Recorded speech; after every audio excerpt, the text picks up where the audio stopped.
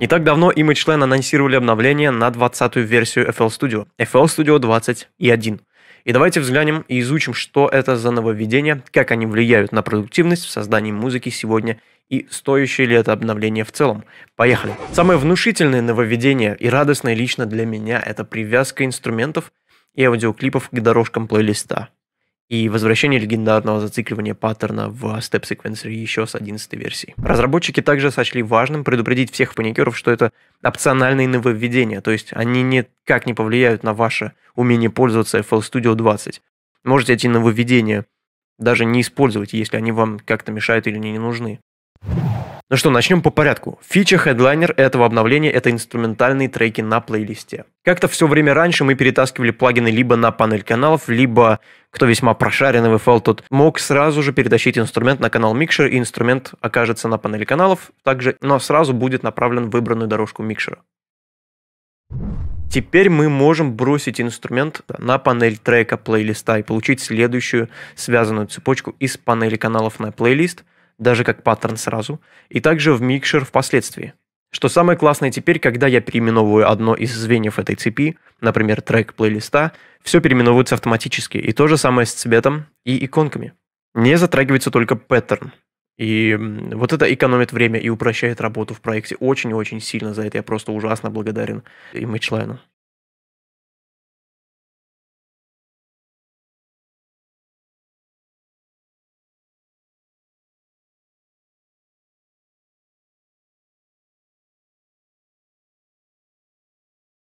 Сразу нужно будет отметить несколько вещей, что кругленькие иконки повествуют нам о том, что это инструментальный трек в связке со всеми инстанциями. И раутинг, посыл в дорожку, заблокирован по умолчанию. Вы все еще можете использовать данный контроллер как-то, но он перемещает позицию выбранной дорожки микшера.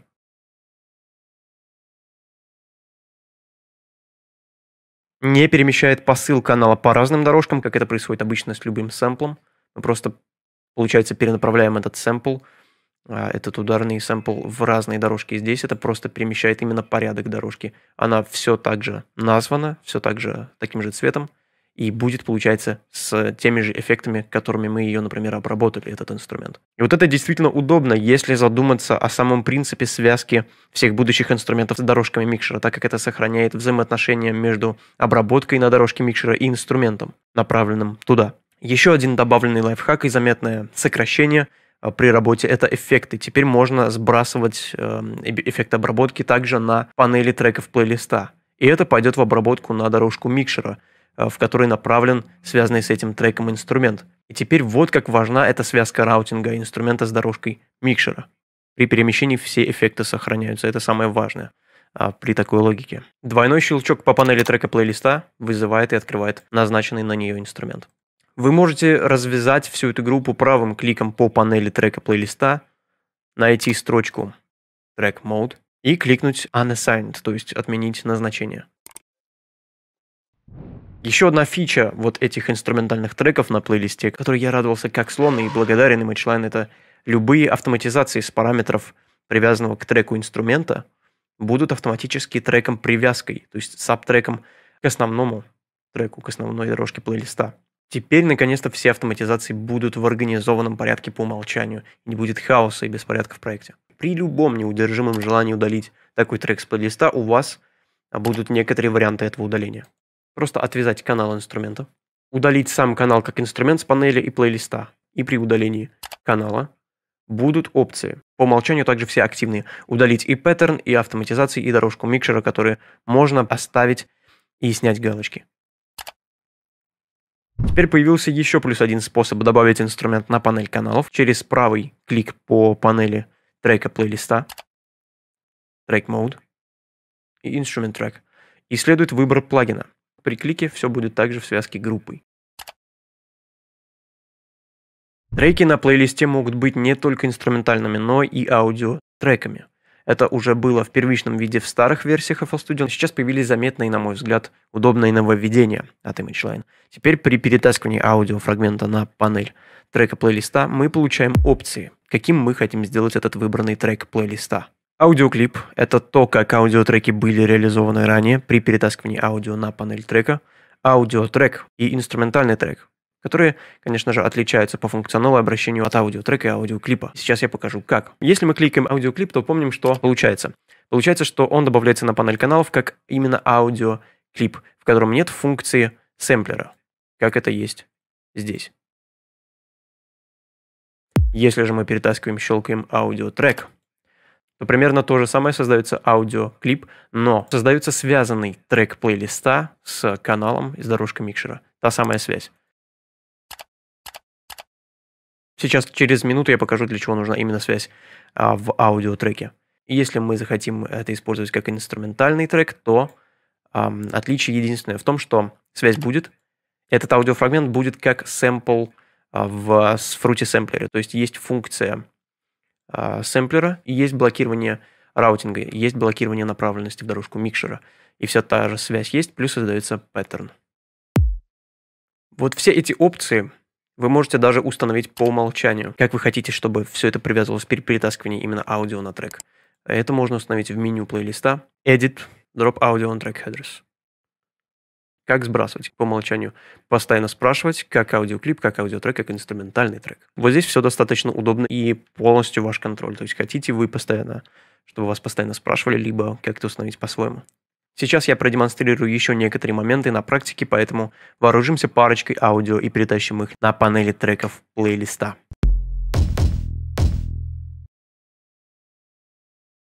Сейчас оба этих э, сэмпла находятся в режиме аудиотрека.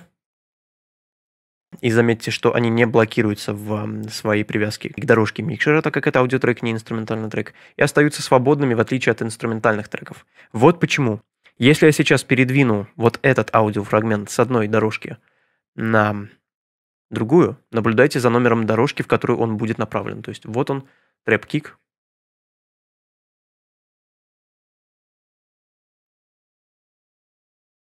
Раутинг автоматически направлен будет в третью дорожку. Фактически это означает, что не сам канал с аудио а, привязывается к дорожке микшера, а именно трек плейлиста привязывается к определенной дорожке. То есть первый трек привязан к третьей дорожке. Следовательно, все, что мы будем сюда перекидывать или же перемещать сюда из аудиоклипов, все будет автоматически привязываться и направлено к третьей дорожке микшера. Вот в чем смысл именно аудио треков. Вот эта система действительно удобная. И еще удобнее ее делает и связка любых автоматизаций с дорожки микшера. То есть это любые фейдеры и нобы здесь. Сразу же сабтрек. И даже с параметров плагинов эффектов, загруженных на этой дорожке, все будет находиться аккуратно под нужным треком.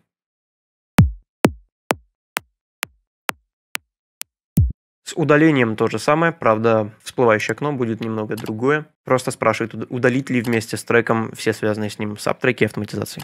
Аудиотреки теперь получают еще и кое-какие апгрейды для записи аудио на них. В этом обновлении вы можете производить запись устройства, специально отделенный для этого трек на плейлисте. И вот как это происходит.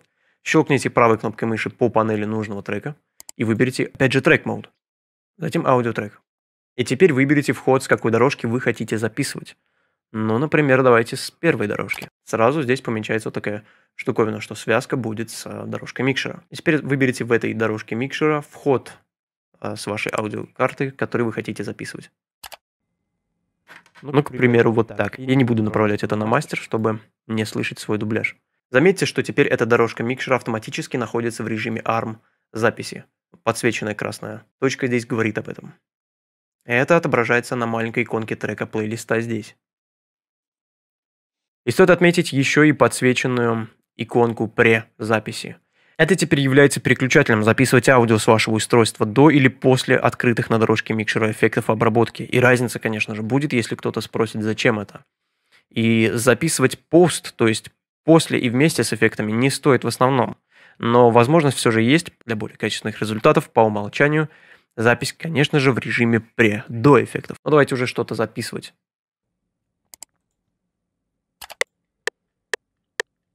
Это будет первый аудиотрек. Это второй. Ну а это третий.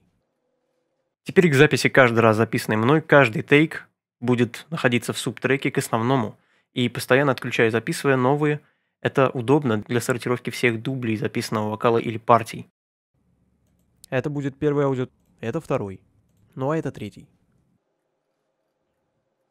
Панель каналов немного поменялась внешне, и первое, что бросается в глаза, это некоторые ручки и табло действительно изменились. Но это все те же знакомые функции, плюс а, некоторые, которые нам вернули еще с FL Studio 11. Вернулась функция выборщика длительности степ-секвенсора.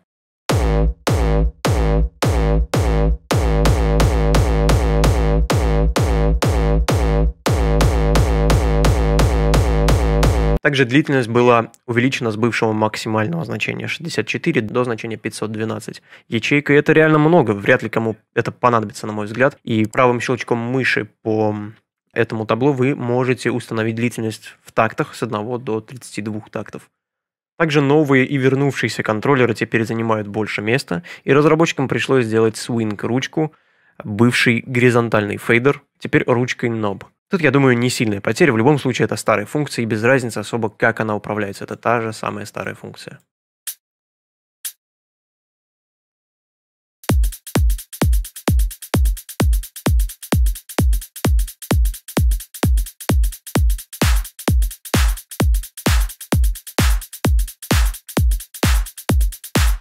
Также не особо для меня полезная функция, введенная в это обновление, но стоит отметить, это общее максимальное наличие swing – оно устанавливается для нескольких сразу же каналов, таким вот образом выделенных. Затем функцию меню панели каналов. Set Swing Mix for Selected. И установить в процентах или ввести свое значение в кастом опции. Вот как это выглядит, если мы заглянем в функции в опции каждого канала. Вот это самое общее значение swing, которое будет у них а, назначаться сразу же у всех трех каналов. Следим именно за ним. И теперь максимально, например, что мы захотим поставить, это 50%. Максимальное, что мы здесь установим, будет для них, только для них, 50%. Значение 100 было бы намного-намного смещеннее. И, наконец-то, для всех ветеранов FL Studio 11 возвращена функция зацикливания э, в режиме степ-секвенсора в паттерне. Loop Mode. Для новичков, скорее всего, концепция нова, и вот в чем был ее смысл еще тогда в FL Studio 11. Это зацикливание степ-секвенции решает все проблемы, когда вы работаете с ударными и инструментами, которые вы прописываете в piano roll. То есть вы прописываете в piano roll достаточно длительную партию, но в степ-секвенсоре, естественно, вы прописали немного, потому что тянуть и прописывать это достаточно долго. И хотите зациклить вот эту необходимую информацию, то включаете этот режим, здесь появляется маркер, и автоматически – сколько бы мы здесь не прописали, все вот это будет воспроизводиться всегда. Но без этого режима во всей, на протяжении всех обновлений 12 FL Studio многие чувствовали себя как без рук. Все инструментальные партии играют дальше, а партия не воспроизводится. Луп.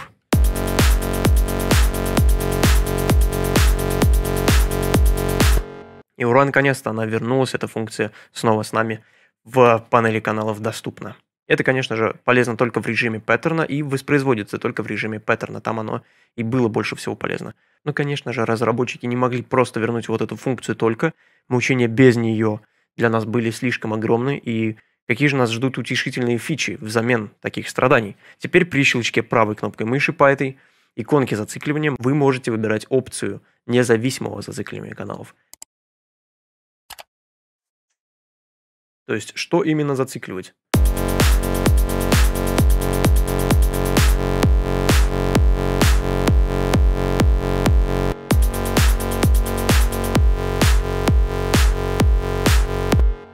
Там же есть функции продвинутого зацикливания. И вот это уже дает интересную возможность получать быстро необычные ритмические и полиритмические структуры при работе с ударными секвенциями. Вы можете выбирать в появившихся справа селекторах, сколько конкретно шагов, ударов или тактов, шаги, удары или такты, зациклить желаемый канал с ударным. Например, по умолчанию такты. Я выберу, пожалуй, э, здесь биты. Далее степ. И здесь уже, наверное, бар. Оставим бар. Здесь это также будет степ. И далее выбираем уже количество.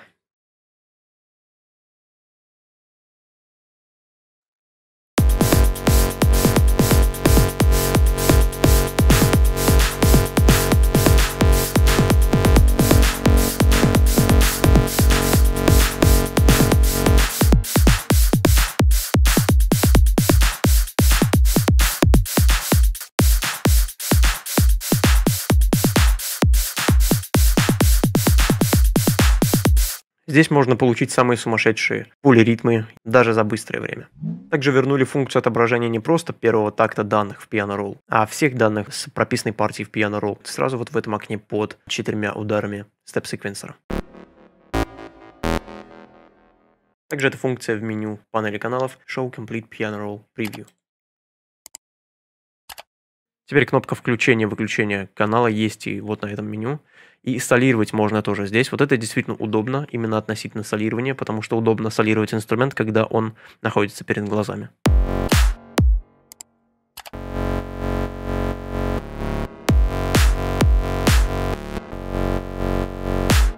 И у каждого эффекта также есть такая кнопка вот в этой панели. Ручка примешивания этого эффекта и кнопка также можно солировать этот эффект и выключить, что, конечно же, полезно иметь под рукой, когда мы хотим получить разницу после обработки вот именно текущим эффектом, который открыт перед глазами.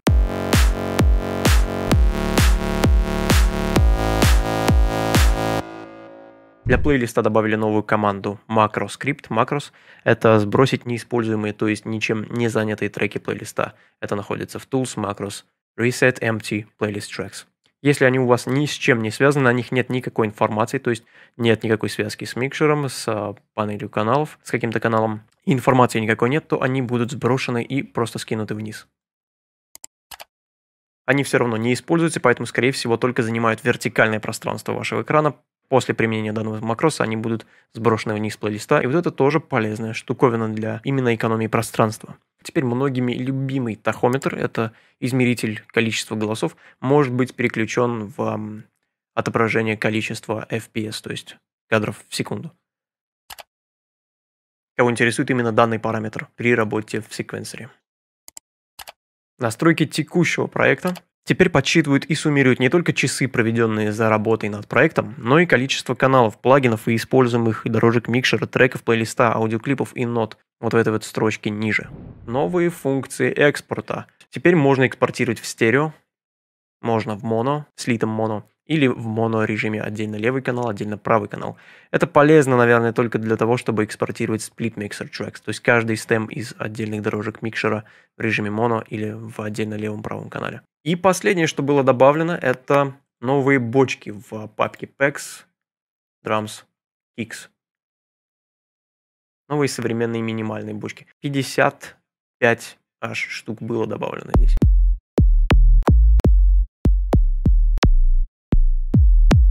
Простые-простые бочки, в принципе, везде полезные штуковины, везде применимые. 52 все-таки количество внушительное. Вот насколько много и в основном приятных фич было добавлено с этим обновлением 20.1. Что ж, вывод в целом только положительный относительно наших любимых поставщиков фруктов из Бельгии Image Line. Они действительно за последние годы сильно стараются и не просто делают больше и больше функций в FL Studio, напихивают туда все что угодно, а стараются слушать свою аудиторию, чего лучше добавить и что улучшить. Поэтому огромное спасибо за проделанную работу ребятам из ImageLine. А с вами был проект FL Studio Pro и Павел Волан. А я пошел писать музло и увидимся с вами в будущих видео. До скорого.